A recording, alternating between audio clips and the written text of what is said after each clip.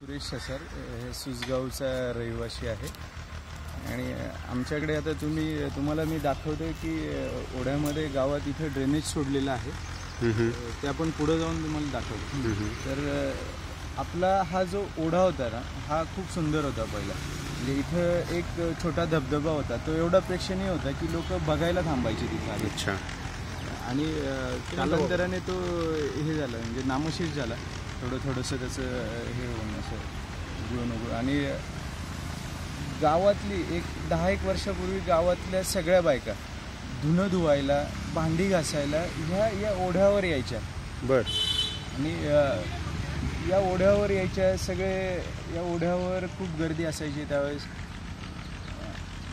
एवढं की लोक त्यांच्या जनावरांना पाणी पाजायला ओढ्यावर आणायचे.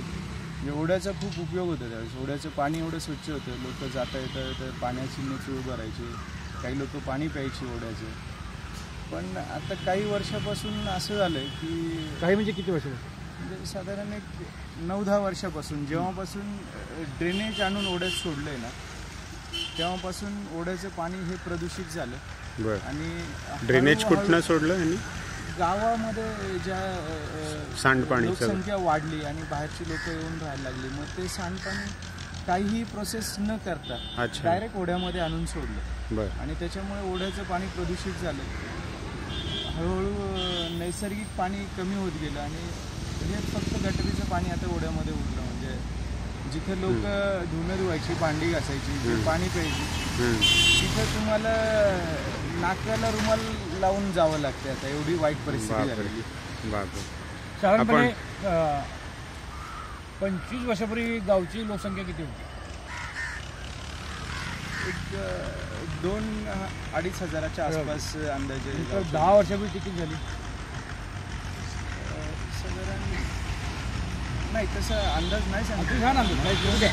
पण आता आपण हा, नंतर ग्रामपंचायत आम्हाला आकडेवारी घेऊया तुमचा अंदाज सांगा. पण आता प्रत्यक्ष पाहायला गेलो ना आपण तर अ, एक चार एक हजाराच्या आसपास समजा गावकऱ्यांची संख्या आहे. हे सोडून सांगा सोडून सांगा पण बाहेरचे आलेले गावकरी असून बाहेरून आलेल्या लोकांची संख्या म्हणजे गावाच्या दोन तीन पटीने जास्त असेल आणि हे याच्यापासून जे निर्माण होणारं सगळं ड्रेनेज आहे ना ते डायरेक्टली ओढ्यात आणून थोडक्यात काय की अं, दोन अडीच हजार लोकसंख्या होती पंचवीस वर्षापूर्वी ती आता साधारणपणे वीस हजारच्या आसपास आहे दहा पट वाढली. दहा. पण पट वाढलेली वाढली. त्यानंतर नळपाणी योजना झाली गावामध्ये. नळपाणी योजना त्यानंतर ड्रेनेज झालं. आणि ते सगळं पाणी इथं आणून सोडण्यात आलं.